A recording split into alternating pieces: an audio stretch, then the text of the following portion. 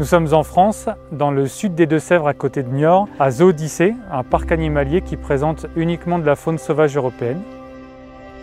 À Zoodyssée, on avait une aire de jeu, mais qui était euh, vraiment vieillissante.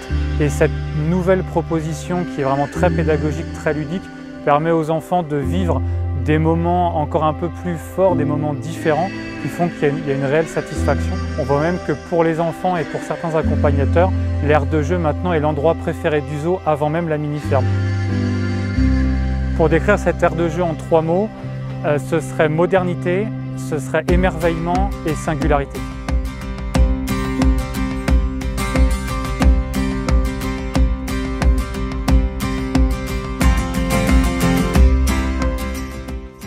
Les aspects qui nous ont vraiment plu, plus encore même que la proposition elle-même, c'est vraiment l'investissement des équipes de ProLudique, cette volonté vraiment de s'emparer du projet, de faire que ce soit un projet vraiment unique et qu'on ne voit nulle part ailleurs.